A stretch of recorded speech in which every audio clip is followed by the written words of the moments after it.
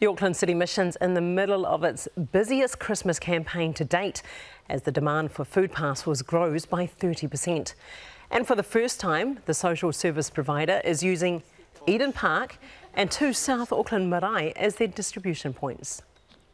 Every day leading up to Christmas, people will be able to come and receive food parcels. They'll be able to come and choose presents for their family, and if necessary, they'll be able to get special needs grants from WINZ. Uh, this is the first time that we've done this out here on this scale. And look, we're, we're really um, excited to support our community in this way with food parcels, with uh, grants, and with um, presents.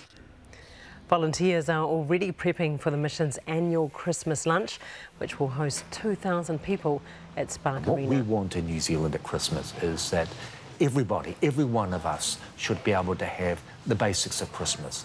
And we believe that there's enough Christmas to go around. The Auckland City Mission is a registered charitable trust.